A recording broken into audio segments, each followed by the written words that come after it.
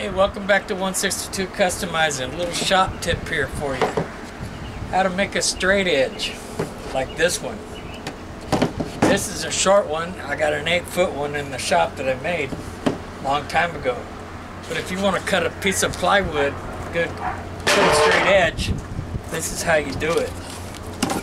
Take a piece of board, whatever length you want, another piece of board, and then we take a couple screws, screw it down. There we go. Don't have to be perfect, don't have to be straight yet. Because when you go to run the saw, it will be straight when you're done.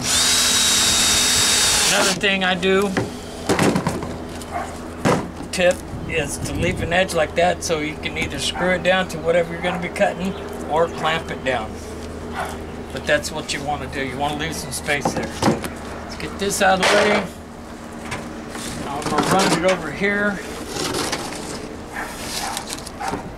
What you want to do is you want to run this fence or this edge against this fence, the wooden fence that you made.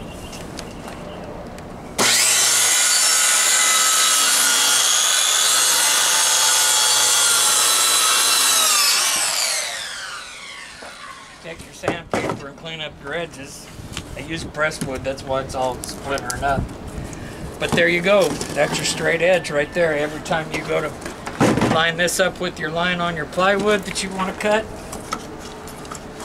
like that, bam, you got your straight edge all the way.